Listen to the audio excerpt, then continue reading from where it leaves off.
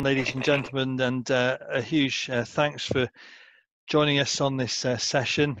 Um, there's an awful lot for us to, to get through here. Um, just an introduction, thank you for the kind words. My name's Tom Cosker, I'm Head of Anatomy for the uh, University and also the Chief Examiner for the University, and I'm also a consultant orthopaedic oncology surgeon here at the Nuffield Orthopaedic Centre. The slides that you're about to see, I think, are all things that you could reasonably see in the FRCS examination, and I'm going to try and take you through what I think are the really key points that you need to know. Now, this is a slide that you all know well. You've all seen this. These are the wiring diagrams, as I call them, and these are just to remind you about the nerve supply of the various muscles in the upper limb. So the suprascapular nerve supplies supraspinatus and infraspinatus from C5, and the axillary nerve supplies the deltoid and teres minor, which is not shown in the diagram. So they're the principal abductors of the shoulder. Elbow flexion and extension is produced by the musculocutaneous nerve, what I teach the students as the BBC, the British Broadcasting Corporation nerve that supplies the biceps, the brachialis, and the coracobrachialis.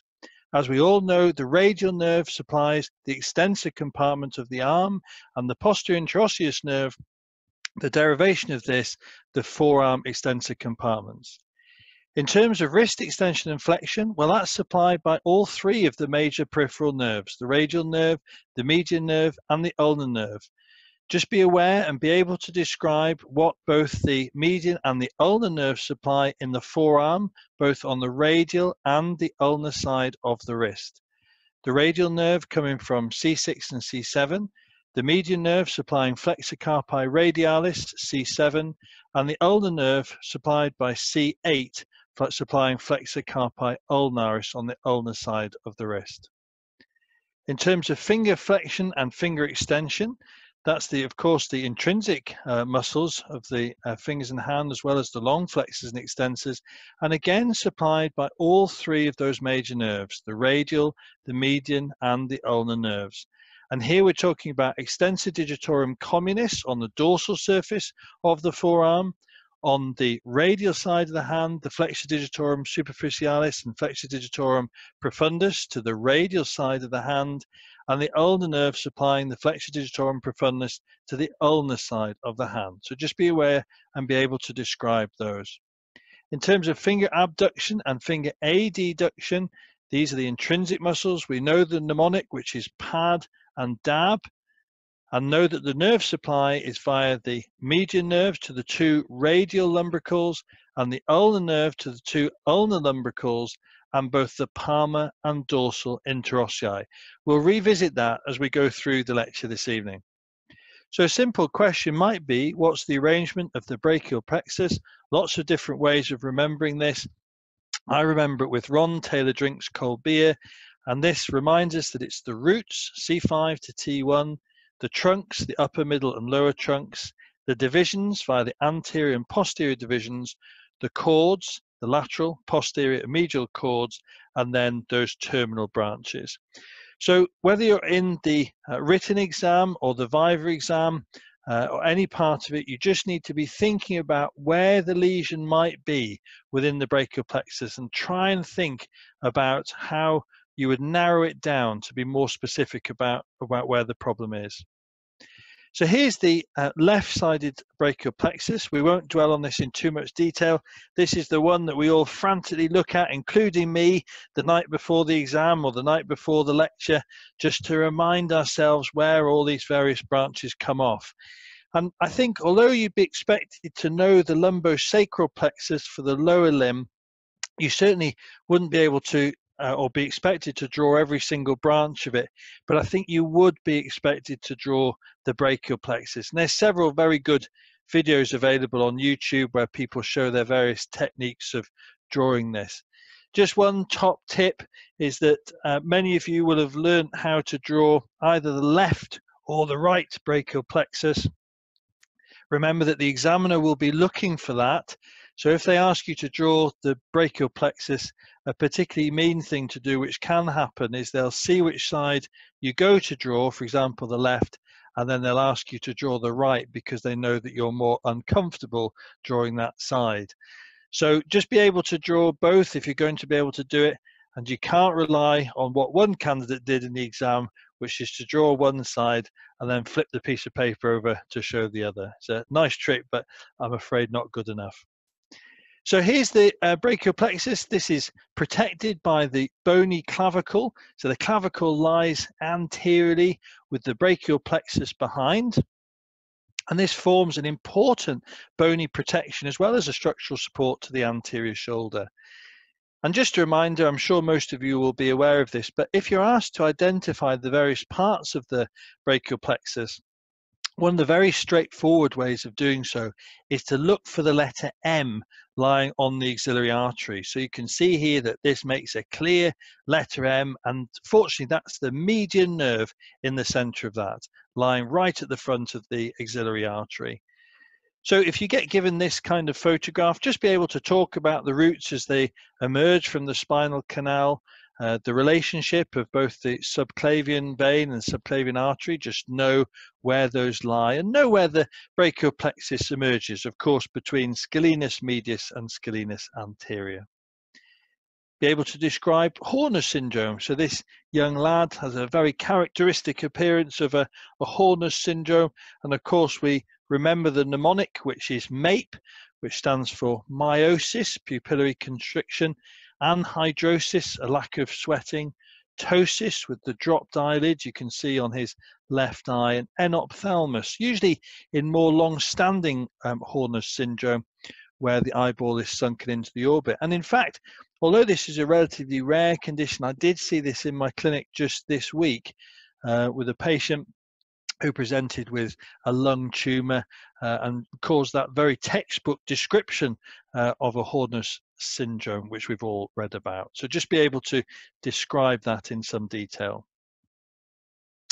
Here's another clinical one. So what would be your differential diagnosis for this uh, young patient who comes along to your clinic? Well, that's autosomal facioscapulohumeral dystrophy uh, a bit of a, a, mouthful, but those abnormal position of the uh, scapulae, it's really a spot diagnosis. What about this patient? Uh, it's black and white photograph of the left shoulder, and the examiner wants to know if this is a supraclavicular or an infraclavicular injury uh, in the absence of a rotator cuff tear. Well, you can see that there's both supraspinatus and infraspinatus muscular wasting, and therefore this must be a suprascapular nerve palsy. We know that this suprascapular nerve supplies both the supra and infraspinatus, and therefore it must be a lesion of this nerve. So you want to really get to that answer very quickly for the examiner and explain what you're seeing. And this is really a key slide for the FRCS. This should probably have a red box around it because this piece of anatomy is something that comes up time and time again, both in the written questions and in the vivas and potentially even in the, the clinicals. So here's the nerve. This we're looking at a, a section through the scapula here. Here's that important ligament, the superior transverse scapular ligament, which lies across the top.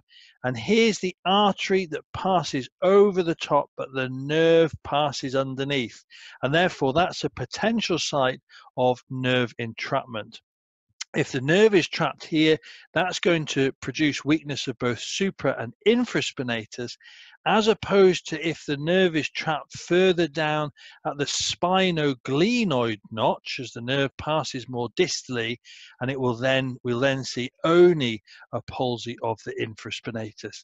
So again just one to have a look at just before the exam perhaps be able to draw this certainly be able to recognize it so that you can identify where the lesion might lie so remember water over the bridge what are the major terminations of each cord? Uh, you might want to just remember this slide. It does come up in the MCQ questions later. So in terms of the lateral cord, that's the musculocutaneous nerve. The posterior cord is the radial and axillary nerve.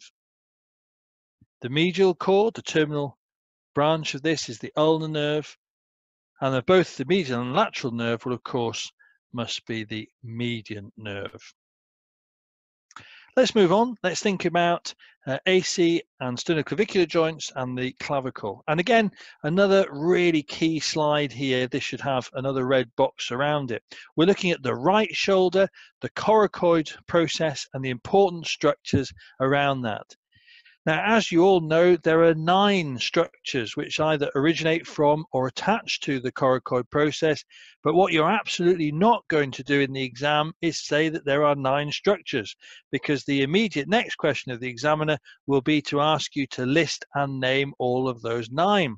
So the way that you're going to phrase it is this is an image of the right shoulder. We can see the coracoid process. There are several important attachments and origins from the coracoid process some of which are the following. And I would probably highlight the fact that pectoralis minor um, originates from the uh, coracoid process from the second, third, and fourth ribs.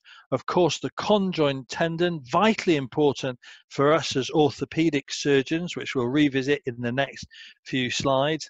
And then the conoid and trapezoid parts of the coracoclavicular ligament and then the coracoacromial ligament. And again, vitally important. This is a really important structure to preserve shoulder stability, to prevent escape of the shoulder anterosuperiorly. And there's that really annoying artery. That's the one that we've all pranged when we're doing a shoulder arthroscopy. We inadvertently hit this, and then that bleeds, and we get a complete red out of the screen. That's the acromial branch of the thoracoacromial artery. To come back to our conjoint tendon, all of the important brachial plexus lies underneath this. And so there's a safe side and a very dangerous side. Unfortunately, I have to spend a fair bit of time over on this side of the conjoint tendon, but for most of our shoulder surgery, we'll try and stay over on the lateral side and sweep that structure medially, which will then protect our brachial plexus.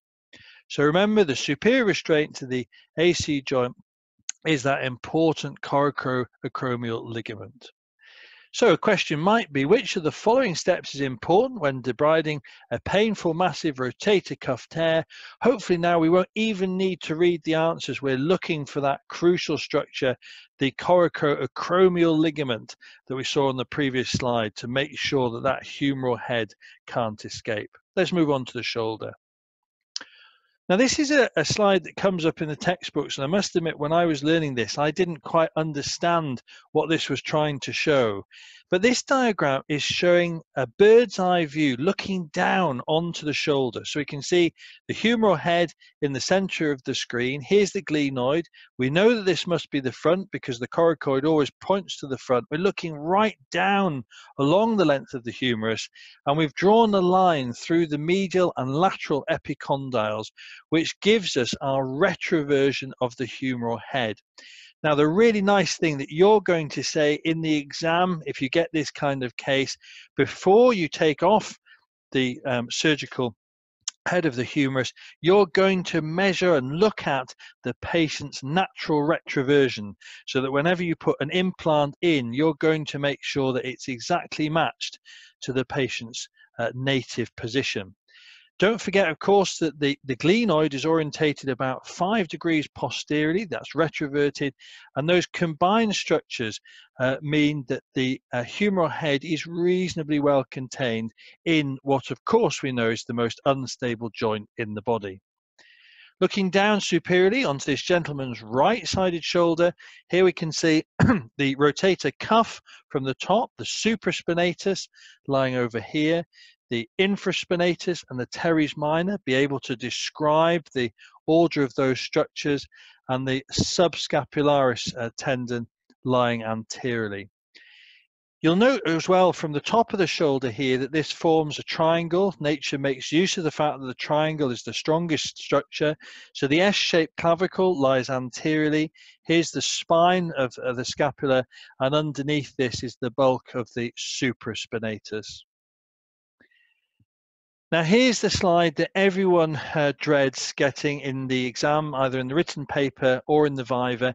Uh, you could very well get given this slide, and it's important to have a strategy so that you can confidently work out those muscles and structures around the inside of the shoulder. And I'll just give you my simple strategy for trying to work out uh, what these are. Now, obviously the glenoid lies in the center. That doesn't particularly help you, but there are two landmarks that I'm looking for to tell us which is the front and which is the back. So the first of these is the long-headed biceps. Remember, the long-headed biceps comes in at the 12 o'clock position at the top of the glenoid labrum, and the, and the long-headed biceps will be passing anteriorly. So the left-hand side of the screen must be the anterior shoulder. This must be the posterior shoulder. The other feature that I'm looking for here is the coracoid process. So here's number six, the coracoid process. And you remember we said that the coracoid process always points towards the front of the shoulder. So that's our second confirmation that this must be the front of the shoulder joint. Here's the acromion, which lies superiorly, and therefore, by definition, number two must be the subacromial bursa. Well, now we've worked out which is the front and which is the back, it should be much more straightforward for us to label the relevant structures. And of course, the rotator cuff surrounds the proximal humerus. So here's the supraspinatus lying superiorly.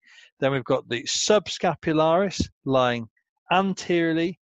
Then infraspinatus, the next one round, and teres minor. Once you've done those, it's then easy to undertake the next layer of labeling. Remember the deltoid muscle surrounds the majority of the shoulder. The deltoid muscle is unusual in that it has both an anterior, a middle and a posterior component. And then we can see the pectoralis major, teres major, latissimus dorsi and triceps. If you get the chance, it's just worth highlighting to the examiner at this point that the triceps lies opposite the insertion of the long-headed biceps. So the long-headed biceps inserts at the 12 o'clock position on the glenoid. The triceps long head originates from the 6 o'clock position, so tangentially opposite to each other. You should be able to uh, label the following insertions. So we're now slightly further down around the intertubercular groove. Of course, pectoralis major must be the latermost structure, and the reason for this is that pectoralis major lies anteriorly, and therefore the other two structures must lie deep to this, and therefore it has to insert at the far lateral side. So pectoralis major lying laterally, latissimus dorsi lying in between the two, and teres major lying more medially. So just be able to identify those structures. And of course, we have the groove running in between the greater and lesser tuberosities in which the long-headed biceps will lie. What attaches to the lesser and the greater tuberosities of the humerus? So again, we've got this superior and uh, lateral view. So to the greater tuberosity is the three muscles, supraspinatus, infraspinatus, and teres minor. To the lesser tuberosity, just one muscle, the subscapularis, supplied by the upper and lower subscapular nerves. A patient with a subscapularis rupture would have what clinical findings? Well, you expect them to have a positive Gerber's lift-off test, positive because they're unable to do it.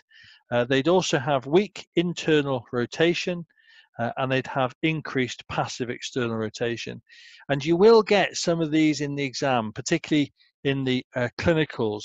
And of course, the relevance to this is that, uh, particularly after an anterior approach to the shoulder, we really are fastidious about trying to repair the subscapularis so we don't leave the patient with this postoperative complication. Name the static and dynamic restraints of the shoulder. So be able to just divide this up very logically in your discussion. So the static is the articular anatomy, so the uh, relative shape of the bony glenoid, the glenoid labrum, which is made of type 2 fibrocartilage, and the structure of the labrum means that there's a negative intra-articular pressure.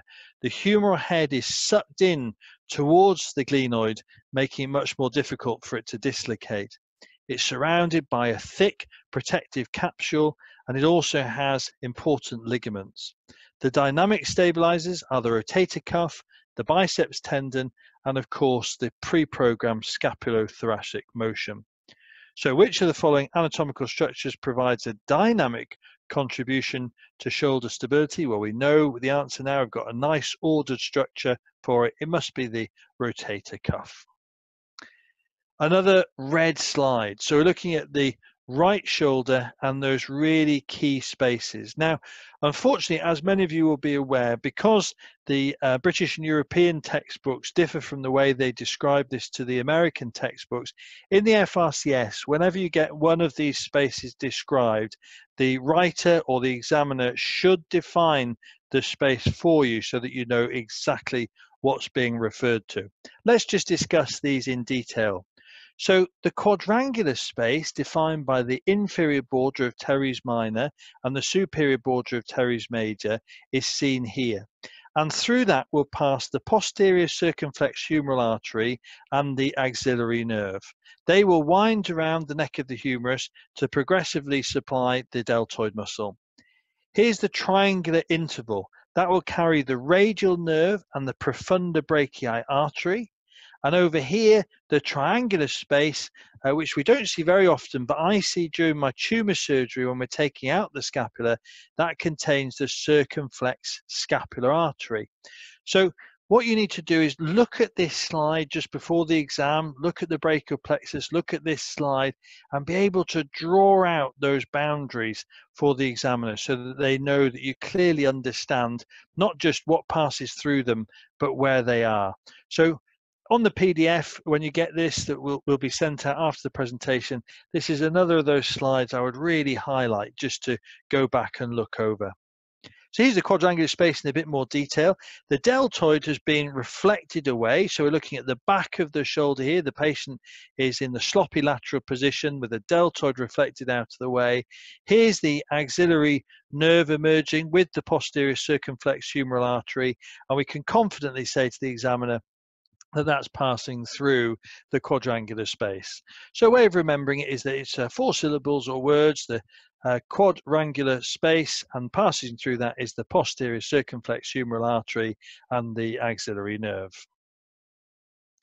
Just to uh, show you in a little bit more detail, here's the uh, axillary nerve and the artery passing through that uh, quadrangular space. Here's the very tight um, shoulder capsule seen posteriorly so if we're doing a posterior approach to the shoulder, what we just need to try and do is to sweep those muscles away so that we can safely access the back of the shoulder. It's an absolute disaster for the patient if we inadvertently damage the axillary nerve and leave them with no deltoid function. Uh, it's really disabling for the patient to, to have that.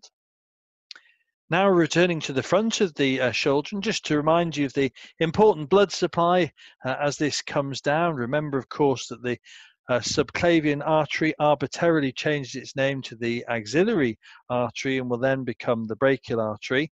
Uh, we'll look at that further in the next few slides. But really, what this slide shows you is the important blood supply to the humeral head and that's formed from both the anterior and posterior circumflex humeral arteries, which you can see arising off here, and this important smaller branch, which has got the circle around it, this is the arcuate artery, and the arcuate artery provides the uh, important blood supply to the anterior aspect of the humeral head.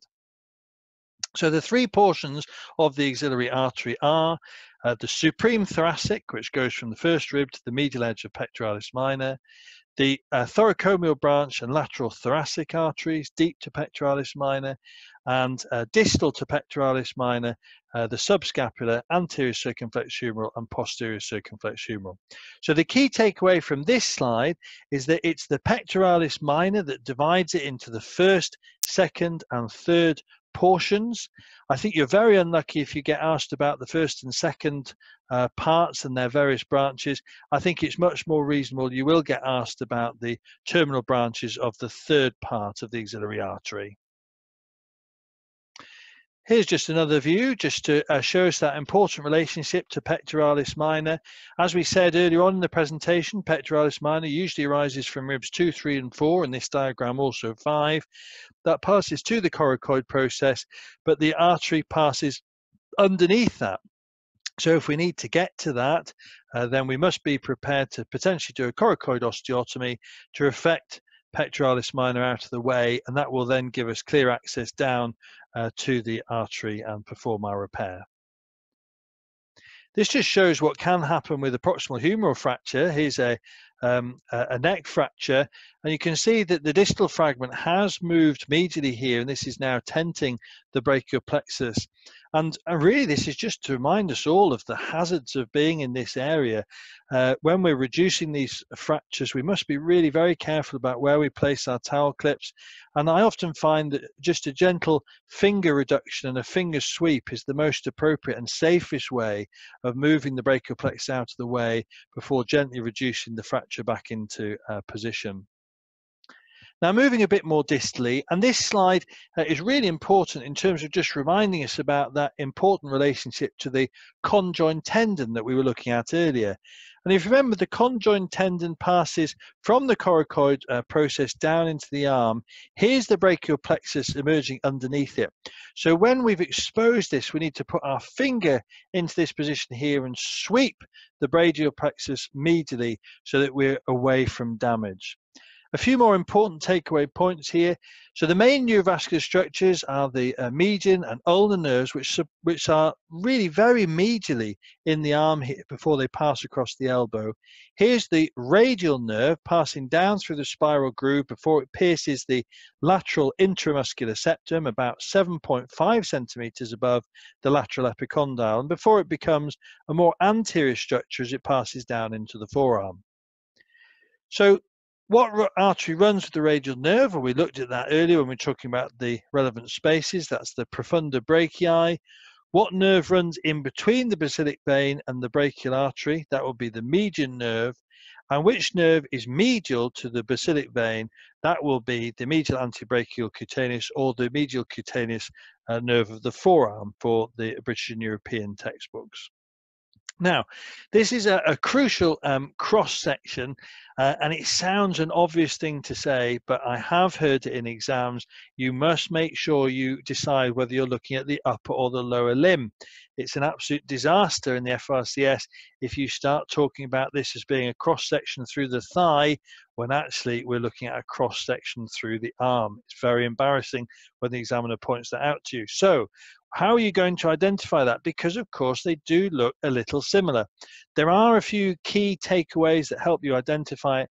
The humerus is a relatively triangle shaped structure, so uh, the shaft of the humerus points forwards anteriorly. And then the real key giveaway is this radial nerve lying absolutely on the periosteum, the like of which you do not have in the thigh. Here on the medial side of the arm is the main neurovascular compartment. And it always amazes me what a very compact space this lies in. We all think of the median and the ulnar nerve as being actually quite well separated. But when you see this diagram, they're really very, very close together, just a centimeter apart and just separated by the neurovascular bundle. So in the right arm that we're looking uh, down on from the top here, you can see that the danger area really lies between about 8 o'clock and 10 o'clock, all of those key structures lying within that region. The musculocutaneous nerve lies relatively anteriorly. That makes sense because, as we said before, it's the BBC nerve, the British Broadcasting Corporation nerve, and that's going to have to supply the biceps, the brachialis, and the coracobrachialis, which are all anterior structures. Here's that large posterior wad of the triceps supplied by the radial nerve. So another one, another slide just to draw a star on here, just on the night before the exam, just to make sure you revise the cross-sectional anatomy. So what does the axillary nerve supply? Well, the axillary nerve comes from the posterior cord and it will supply the teres minor and the deltoid, shown in the green square at the top of the screen here. Nothing else more distally in the arm or the forearm. All of the action for the axillary nerve is very proximal. In terms of the innervation of the forearm, the superficial flexors, the deep flexors, and the superficial extensors, deep extensors, are supplied, as we said at the start of the presentation, by the median nerve, except half of flexor carpi ulnaris, the deep flexors supplied by the median nerve, except the ulnar half of flexor digitorum profundus, the superficial extensors supplied by the radial nerve and of course the more distal branch, the posterior interosseous nerve, and the deep extensors supplied by the posterior interosseous nerve.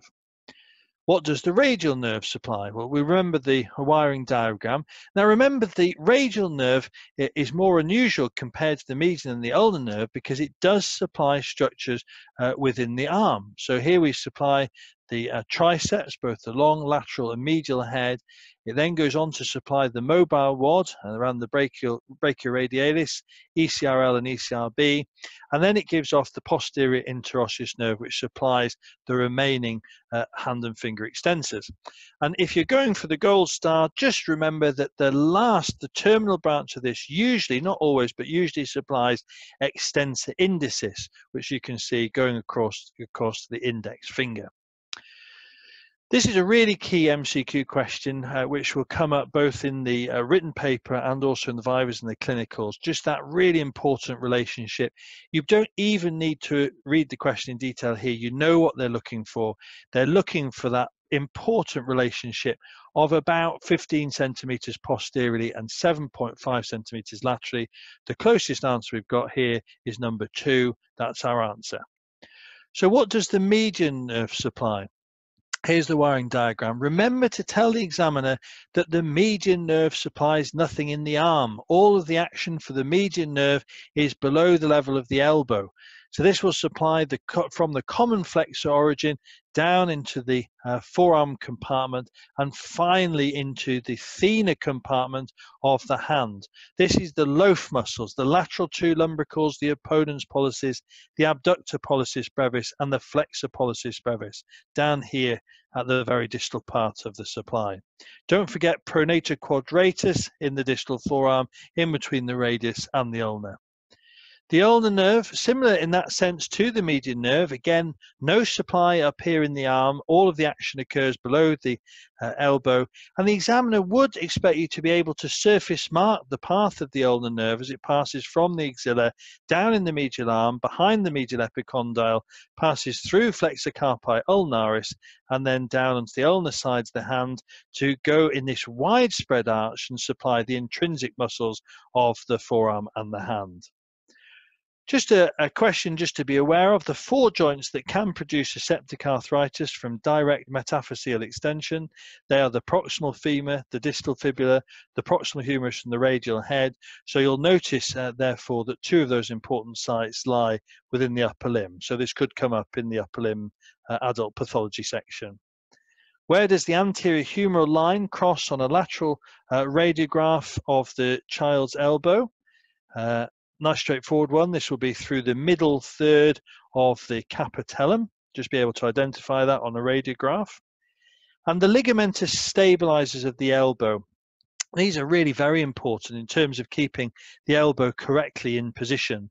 The radial collateral ligament on the outermost uh, side uh, of the elbow uh, and the annular ligament holding the uh, radial head into position. Of course, this is the site where we see a pulled elbow where the radial head uh, dislocates through the annular ligament.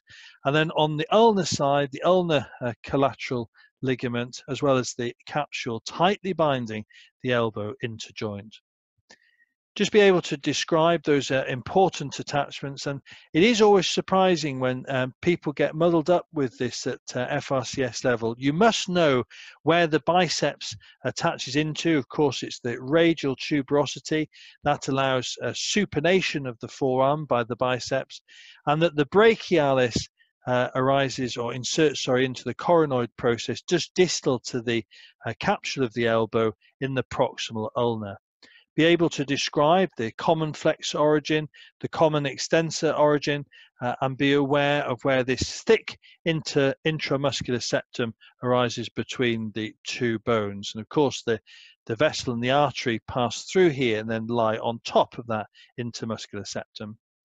For tennis elbow, uh, the structure we're thinking about is extensor carpi radialis brevis. That's the one that we're going to be looking to release when we do our Nirschl, N-I-R-S-C-H-L release. We're going to do the Nirschl release to release that tendon here and release the uh, tennis elbow. So here's our next uh, important uh, cross-sectional anatomy. I think you'd be a little more unlucky if you um, got this in the exam, but certainly be able to orientate yourself. And the key structure to be looking for here is, of course, the ulnar nerve as it passes behind the medial epicondyle. Be aware of those uh, anterior structures, uh, the uh, neurovascular bundle now lying relatively anterior uh, in the forearm with the brachial artery and the uh, brachial vein, several superficial nerves lying more peripherally. Now, everyone gets uh, a little bit worried about uh, where the basilic vein and the cephalic vein uh, lie. So, just a, a, really easy way of remembering is that it's as simple as ABC. So, the abdomen lies over here. Here's the abdomen. The basilic vein uh, lies more medially. So, this must be the medial aspect of the uh, forearm, and the cephalic vein lies more laterally. So, we see that over on the radial side of the forearm just be able to identify uh, those superficial sensory nerves. We don't have time to dwell on those now, but they do tend to come up in the written exam, and the uh, the question will ask the relationship to these various uh, uh veins as they pass through. So the radial nerve enters the forearm between which two muscles? That's between brachialis and brachioradialis on the lateral side of the arm. The median nerve splits pronator teres and lies between which muscles? Well, that will be between FDS and FDP. And the ulnar nerve lies between which muscles? Well, that will be between FCU and FDP. So just a, a simple way of uh, remembering it, uh, here's the uh, diagram. So the ulnar nerve lying in between FCU and FDP on the ulnar side of the forearm, and the median nerve supplying between FDS and FDP on the radial side. Cross-section anatomy, exactly the same uh, comments that we made uh, uh, earlier when we were talking about the upper and lower limb. Please don't say this is a leg uh, when you look at it. This is uh, a forearm. And the way to identify that, again, it's a, it's a relatively easy mistake to make, but in the forearm, uh, it's really this huge bulk of anterior musculature, which is different in the leg. The, the posterior structure of the leg are much bigger. And these are two opposing triangles facing each other, separated by that intermuscular septum, with the neurovascular bundle lying on top of that and the median nerve lying relatively centrally. Here's the posterior interosseous nerve lying in the dorsal extensor compartment. So just be able to look back and uh, label some of those structures. So in terms of your forearm approaches, uh, the examiner would expect you to be able to safely get into uh, the forearm, so to get yourself in and get yourself out. Uh, obviously, of course, everyone knows the approach to the ulnar side. This is a relatively superficial uh, approach and will pass in a truly internervous plane between the posterior interosseous nerve supplying ECU and the ulnar nerve supplying flexor carpi ulnaris. But of course, on the radial side of the forearm, this is more difficult. And depending on the fracture pattern, that's the one that we all get worried about. I still worry about approaching the radius uh, through the forearm. There's an awful lot of structures which are, are really at risk. And what the examiner will be looking for when you're describing these approaches is to really show a very safe and common sense approach. So what you'll be saying here is that you'll make the superficial incision and then you'll largely use finger dissection to try and work your way safely down to the radius, moving these neurovascular structures out of the way to really try and keep them as safe as possible. Cross-sectional anatomy through the wrist, again, really, really uh, important. I just picked a slightly unusual uh, view of the wrist here. We're all used to that very uh, standard view of the carpal tunnel, but this is a slightly different section, but you could very reasonably uh, get this and just again be able to work out uh, the various structures and really the key i'm looking for here is this muscular structure here. This is pronator quadratus running between the radius and the ulna and then you can work out the other structures on top of that. Look for that median nerve. It must be the largest nerve that you can see in this cross section so should be really easy to identify and then you can piece together the ulnar nerve and the uh, branches of the posterior interosseous nerve which by this stage will be really very small on the posterior compartment so here's the uh, median nerve is going down, just to remind us, as it goes down to supply uh, the muscles of the thenar eminence. Uh, and uh, there we go. So dead on time, Ruth. I think I'm going to uh, hand over to you at this point. We're going to do a quick poll here just to check everyone's been listening, and then we're going to move on to some really exciting uh, stuff. I hope, which will be some of the cases that we've seen as challenges from my own unit. So Ruth, over to you with the quiz.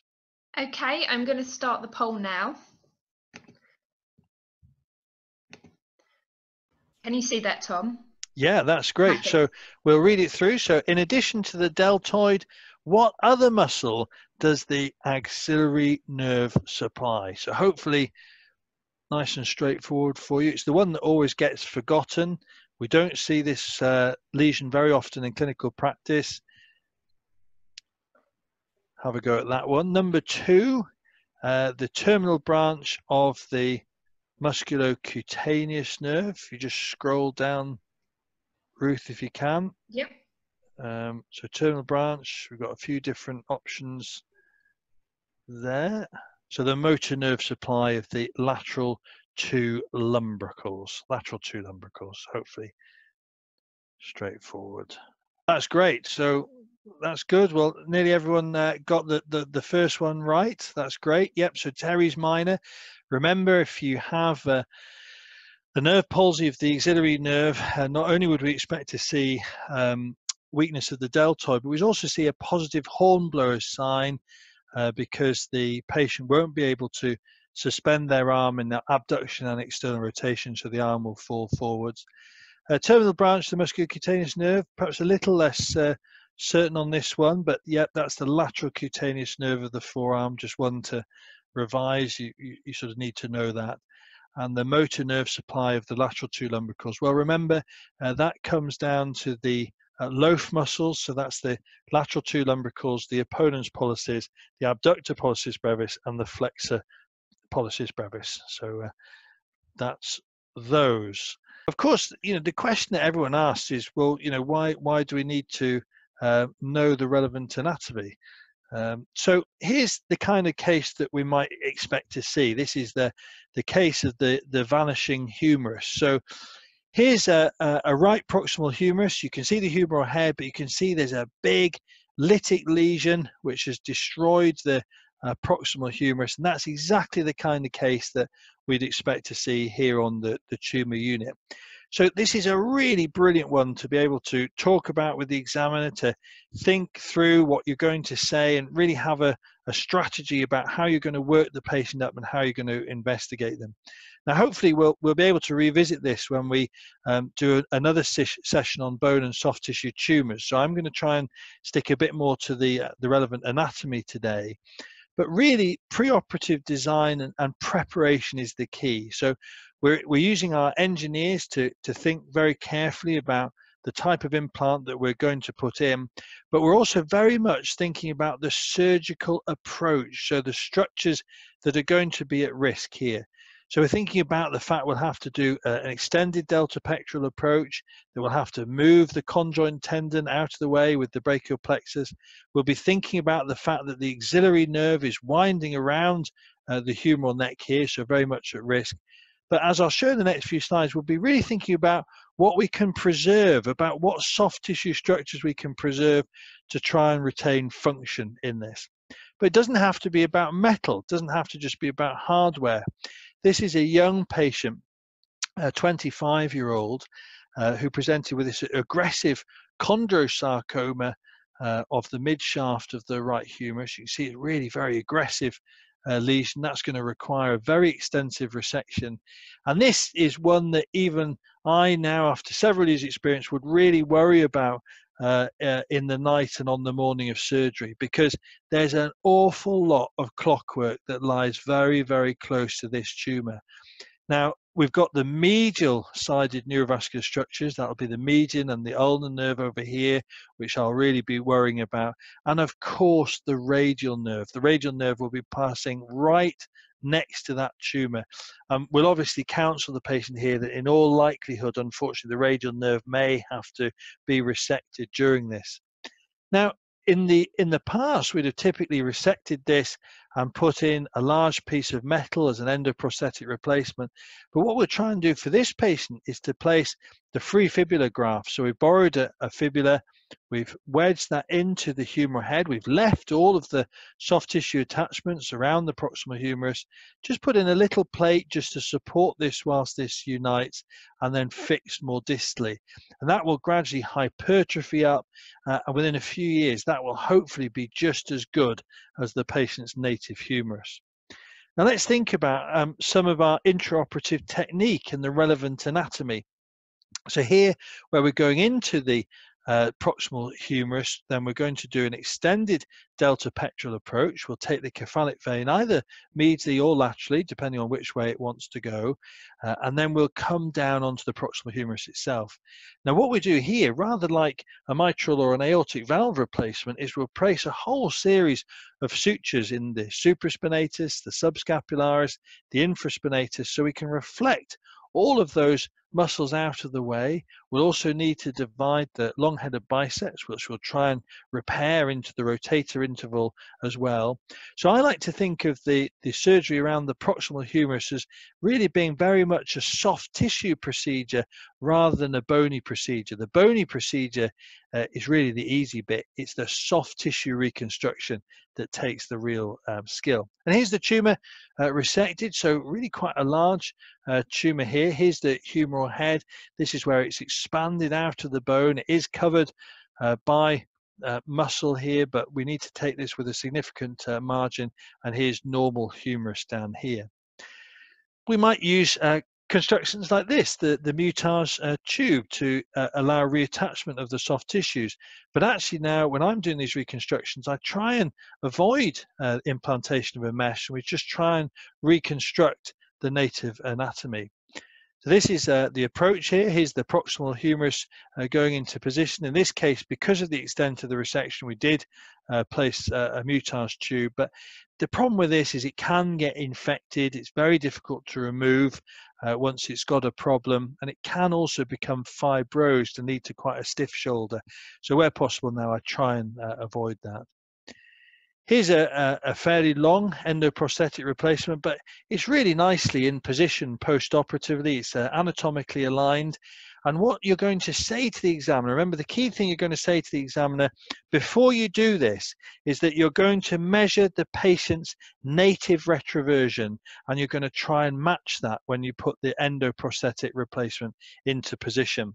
You're then going to try and reconstruct all of these muscles around that uh, proximal humerus to restore the natural anatomy and to try and give the patient as good a function as you absolutely possibly can even with careful surgical technique, we still do get these problems. Look at this. This is just between January 2013 and April 2013. The humeral head has subluxed, and I'm sure you've guessed what has happened here. What's happened here is that where we've tried to repair the rotator cuff, the metal has found a way to get in between those soft tissue structures. The rotator cuff has gone either side, and it's subluxed superiorly. So have an answer in terms of the examiner asking you about rehabilitation. When you've done the reconstruction, allow that reconstruction to bed in. For the big reconstructions, no active shoulder movement for about six weeks to let things really settle down, and then passive assisted uh, from about uh, six to 10 weeks, gentle pendulums for 10 weeks, and then gentle active uh, motion, avoiding uh, positions of instability. Just beware the uh, the rapidly growing tumor. The ones that we um, really sort of tend to think about are the uh, renal cell carcinomas, uh, the thyroids, and the myelomas. Uh, I got caught out only the other week uh, with a renal cell carcinoma. Uh, we were under pressure to get the patient done. I decided not to embolize the the tumor and uh, we did have you know, significant blood loss and it, it really can be quite a hair-raising experience. Um, I wonder if any of you by now have noted the uh, deliberate mistake in the uh, angiogram on the left-hand side. You'll see that the uh, the registrar who put the humeral nail in in the first place unfortunately missed the uh, the distal locking bolt. I'm sure we've all been there. Uh, this is a really interesting case. This is a, a, a young patient, a 37 uh, year old um, who presents with uh, this is the CT PET scan. You can see there's increased activity around the, the mid shaft of the uh, humerus on the left hand side. The good news for him is no other aggressive disease elsewhere. So we need to think of a surgical strategy to um, try and resect this. And again, in the past, the treatment for this would be to resect the uh, proximal humerus to do a long uh, proximal humeral replacement uh, but now we need to think about better options, about better reconstruction. So in this, uh, we used a, a, technique called the osteo bridge. Um, here's a, a, sort of um, direct lateral uh, approach here. um, obviously the structure at risk is the, the radial nerve. So we've taken the, the radial nerve and moved that out of the way. Uh, that gives us uh, this gap, this intercalary resection. And the and the really top trick, if, you, if you're going to talk to the examiner about this, the really key thing to mention here is that you must make a mark uh, to mark your alignment between the proximal and distal parts before you take the section out. Uh, otherwise, you have this disastrous situation where you take it out and then you've got the two parts flailing in between. You don't know the correct orientation. So use your diathermy or a pen uh, to make a mark there. Then you make up the um, the, the osteo bridge. So this is the uh, tumor which has been re uh, resected. Several of the companies make these implants. This then uh, gets bolted together, so you have a, a variety of uh, sizes, uh, and then that gets um, placed into the um, into the implant to, to reconstruct the, the gap. So, um, guys, it's uh, it's uh, five to nine. I think uh, I'll, I'll stop talking and hand over to the uh, the moderators. But I hope that just sort of reminds you of the importance of the uh, anatomy of the upper limb. I think the anatomy of the upper limb is uh, perhaps even more difficult than that of the lower limb. And in terms of operating, what makes it particularly difficult, but of course interesting, is that because the upper limb is smaller than the lower limb, all of those important structures lie very, very close together. So you've really got to understand uh, the anatomy to be able to safely uh, get in and out and avoid complications. Thank you very much. Thank you very much, Mr. Cosker. That was very uh, interesting, comprehensive, and very enlightening. Um, Thank we you. certainly learned a lot from it. This is a very difficult subject, and you managed you managed to break it down into an easy, small steps so that's that is a real art. Um, Thank you. Uh, may I present some uh, my invite? I will first invite uh, Shwan to help me with this. I have some questions posted by the uh, audience, if you don't mind. We'll try and make them as brief as possible. So the first question was about the safe zones for children's K-wire into the proximal humerus. Uh, would you recommend certain areas to avoid uh, passing the wires through for children if you are planning to do K wires? Yeah, well, it's a it's a very good point. I mean, I, I you know I'm not a pediatric uh, orthopedic trauma surgeon, but if we just think about the um, the relevant blood supply uh, of the, the the proximal humerus, let's see if we can uh, find that. Perhaps if we go back here. So you know, really this is the the sort of slide that you need to be be thinking about. And um, what you're trying to avoid here is damage to the um, both the anterior circumflex humeral vessel and the arcuate artery. So really positions um, in in and around the greater tuberosity reasonably safe. Uh, distal to the uh, axillary nerve and the anterior circumflex humeral artery also uh, reasonably safe if you're going to use a, uh, a TENS nail, but try and avoid this uh, danger area here. You don't want to give the child avascular necrosis of the humeral head. Absolutely. Um, then the next question, you, you've positioned, you uh, put a picture of a fibula graft. Um, the question was, was it an allograft or an autograft? Always, always um, in our unit from the same patient. Um, so, mm -hmm. Yeah, we, we I've got one next week. Actually, we've got uh, a, a, young patient who's got a very aggressive tumorus of the of the radius. Uh, mm-hmm. it's a really difficult case. I'm, I'm hoping Ruth, actually, if you if you invite me back to do the tumor session, I'd really love to to show the uh, delegates this tumor. It's it's very very difficult. We've got to get into the forearm, get this tumor out, and then we'll use the uh, the fibula. It, it's an amazing bone, the, the, the fibula. When, when we all walked on all fours, we needed our, our fibula to stabilize uh, our legs and to allow push off. But now that we're up on two feet, remarkably, we just don't need it. And when you see these patients back in clinic about six to 12 months later, having had the whole of their fibula removed, it is really incredible that actually they don't even have any abnormality of gait. It's, uh, it, it's really amazing. Beautiful. The next question is about Henry's approach to the forearm. Um, is it safe or would you recommend to detach the pronator teres during that to try and uh, have a better approach to the bone? Yeah, so uh, let's just, where are we here? So um, I must admit, I don't detach anything. Um, I am a great believer in uh, in gentle finger dissection. So obviously you've got to use a blade. I use a large blade to go through the skin, subcutaneous tissue, and then through the fascia. And then really I try and just use a finger to gently work my way down, to try and get my way down uh, onto the radius and just gradually move those structures sequentially out of the way. And one of the things I've learned over the years from my more experienced colleagues is that when you're when you're a more junior surgeon, you get you get very worried about seeing the nerves. You know, you get very worried about seeing the sciatic nerve, about seeing the median nerve, and you tend to think about your approaches so that you, you don't end up seeing those. In tumor surgery, it's the opposite. We look for those nerves. We want to see them. We want to see the full length of those nerves so that we can safely move them out of the way. And actually, that's really changed my surgical practice. I now go looking for that median nerve. I want to see it. I want to feel safe as I go to sleep at night that I've moved it out of the way.